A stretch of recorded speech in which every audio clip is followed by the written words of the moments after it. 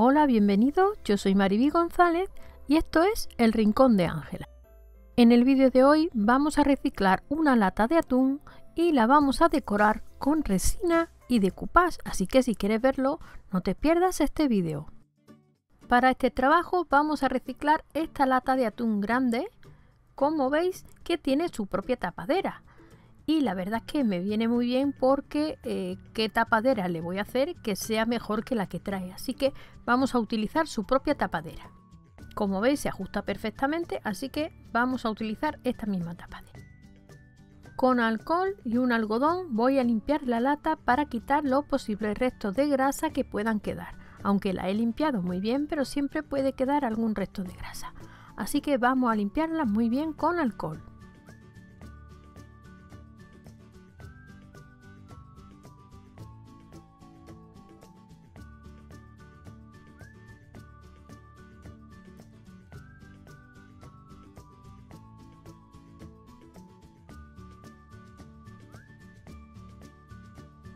Lo siguiente que voy a hacer es aplicar una imprimación para metales de American Deco Art.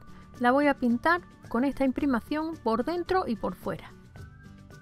Esta imprimación tiene unas 2 o 3 horas de secado. Hay que completar este tiempo y no podemos continuar el trabajo hasta que no esté completamente seca.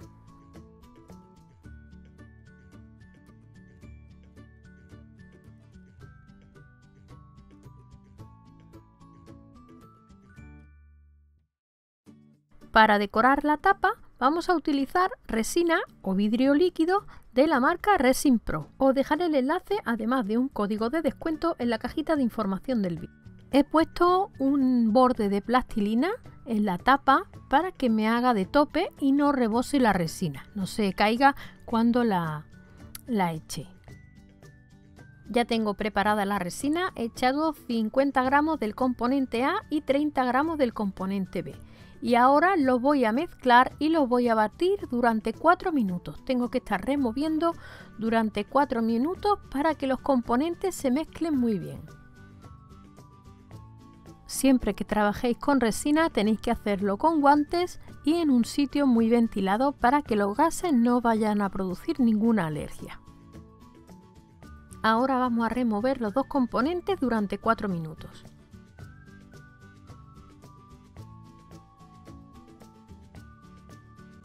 Para dar color a la resina voy a utilizar la pintura acrílica de American Deco Art en color azul Bahama y azul marino.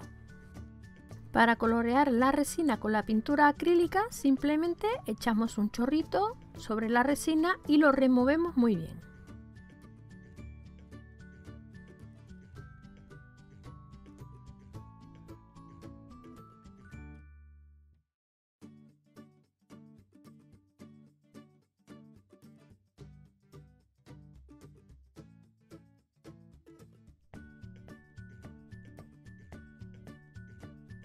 Ahora vamos a hacer un efecto marina sobre la tapa.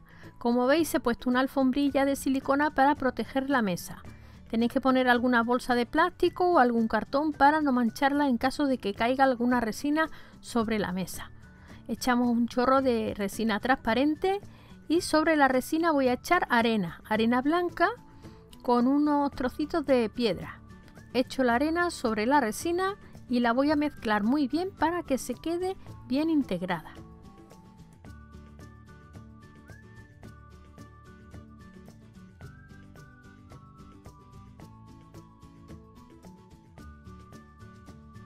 La voy moviendo con el palito y la voy mezclando y a la vez la voy eh, moviendo hacia donde quiero que estén las piedrecitas y la arena.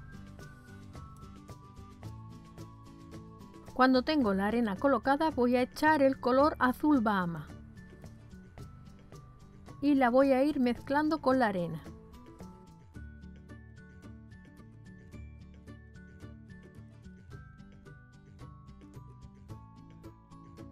Ahora he hecho el color azul marino y con el palito lo voy a ir mezclando para hacer el efecto del agua y el movimiento y la profundidad, que se vaya integrando y se vaya mezclando para hacer el efecto del movimiento del agua del mar.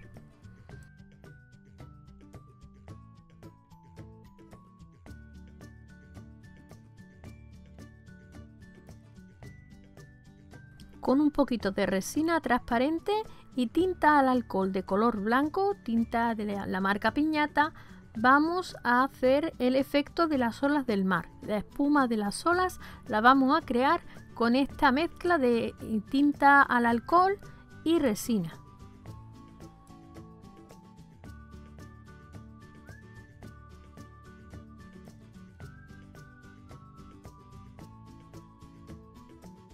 Con el palito voy a ir pintando unas líneas para después hacer el efecto de la espuma del mar y de las olas.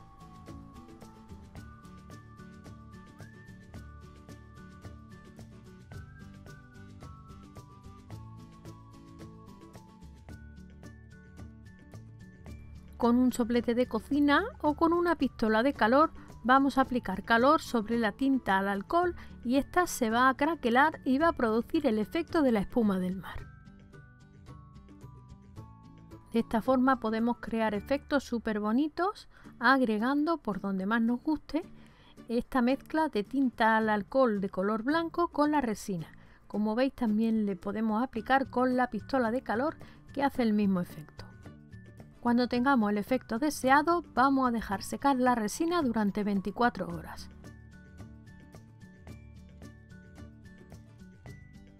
Ya se secó la imprimación de la lata y ahora vamos a hacer el decoupage.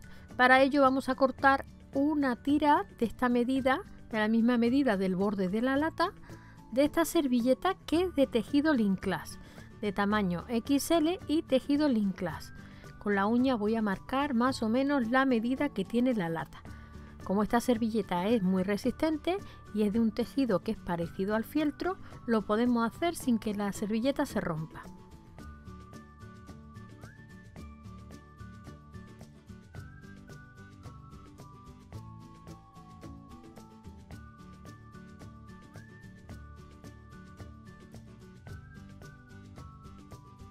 Para el decoupage vamos a utilizar el pegamento mate de American Deco Art.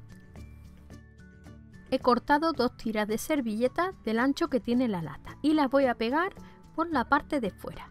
Aplico el pegamento en cantidad generosa porque esta servilleta como no tiene capas y es un tejido parecido al, mm, al fieltro o al ante, absorbe bastante, así es que hay que poner bastante pegamento. Aplico el pegamento y pongo la servilleta por encima. De esta manera voy a ir rodeando toda la lata.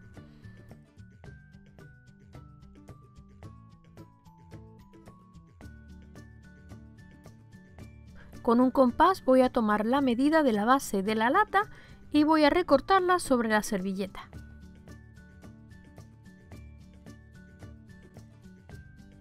Aplico el pegamento para decoupage sobre la base de la lata y pongo uno de los dos círculos que había recortado en la servilleta. Aplico pegamento por encima para terminar de pegar la servilleta a la lata.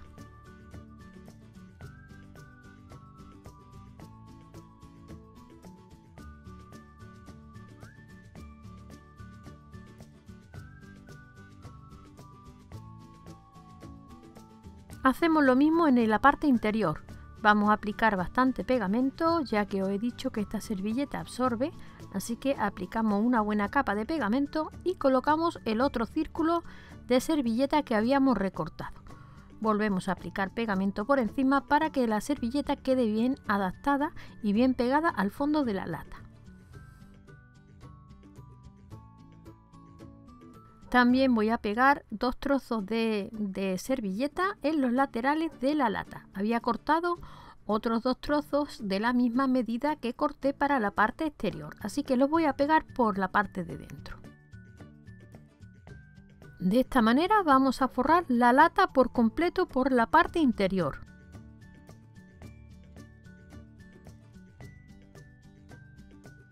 Cuando hayamos pegado la servilleta aplicaremos una capa de pegamento por encima para terminar de pegarla. Después la dejamos secar. Transcurridas 24 horas ya se secó la resina y este es el resultado. Ahora vamos a retirar la plastilina para ver cómo ha quedado. Con un cúter vamos a limpiar todo el borde. Quitaremos los trocitos de plastilina y los trocitos de resina que puedan quedar. Ya he limpiado los bordes, como veis ha quedado súper bien. Y ahora para finalizar vamos a aplicar una capa de barniz satinado Dura Clear de Deco Art en la parte de abajo de la lata.